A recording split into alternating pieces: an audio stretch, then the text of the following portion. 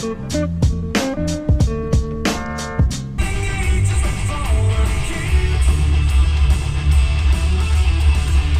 up, guys, and welcome to episode two of Behind the Scenes. If you didn't catch the first episode, I'm gonna leave it linked down below. Also, remember, these are only every Monday, so make sure to subscribe if you like these behind the scenes types of videos. Today, I'm gonna show you a trick that I like to do whenever I am shooting by myself. But first, we need to go get some sushi.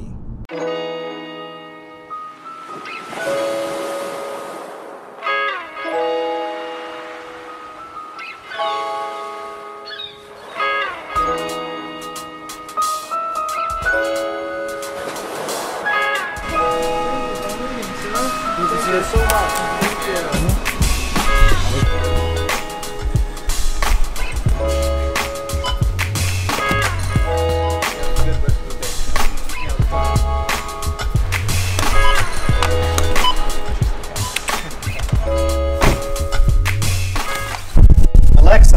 office lights on. Okay. What's up, buddy?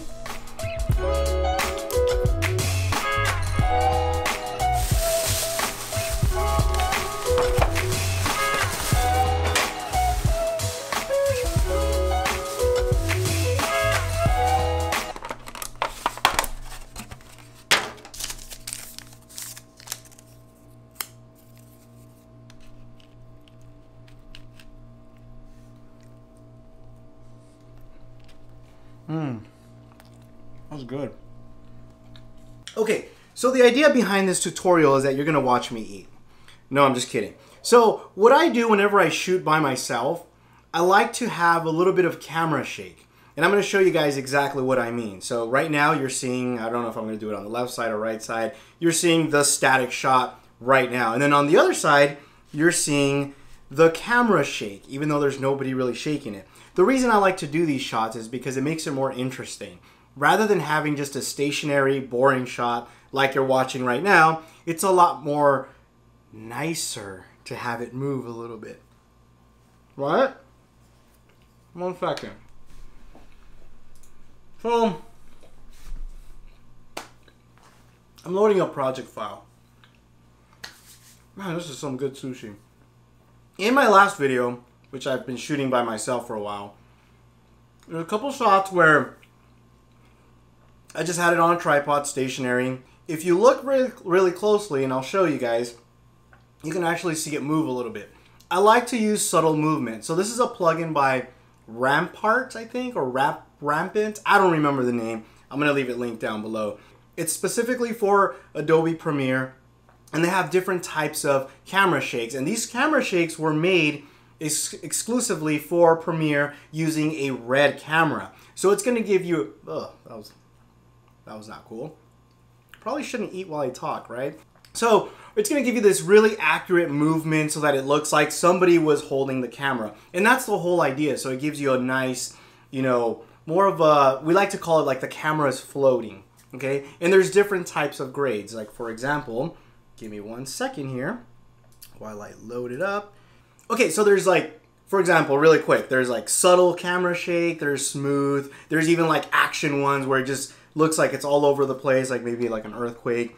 There's a tourist, you know, I guess that's a, supposed to be a tourist moving the camera. There's like small drifts. Anyway, these I tend to use. I like the more subtle approach just to kind of give you a small little hint that it's moving, but not so aggressive that it's like all over the place. So I know a lot of you guys shoot on your own, and a lot of times there's these stationary shots, and they look fine. I mean, don't get me wrong, stationary shots are nice, but giving it that subtle movement just I think it just adds more to the realism.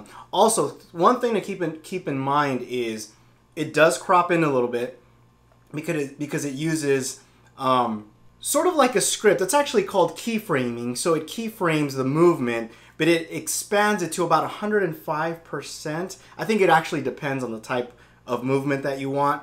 So it actually um, reframes it a little bit. So keep that in mind whenever you're shooting that it's actually going to, you know, expand a little bit because it needs to keyframe around. I mean, it's really cool. Um, I use it all the time whenever I'm shooting by myself. So it looks like somebody's actually helping me shoot videos. And I've actually shot my last like five videos on my own, and you probably didn't even know that because I've been using this plugin and I've actually been using it for quite some time. Let me know if you guys like it. I mean, it's pretty inexpensive. I think it's like 29 bucks or something like that. I bought it a while ago. So, um, yeah, that's your tip for uh, Monday.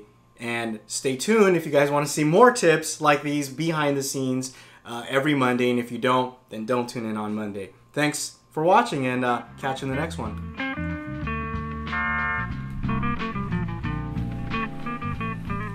Why are you still here? Oh, seriously. Are you gonna watch me eat all this? Seriously, why are you still here? Are you gonna watch me finish this? Oh my gosh, this is embarrassing. I'm gonna get back to work. Okay, so with me here, Yeah, seriously, why are you still here? Like, close it out. I have the access. Ah!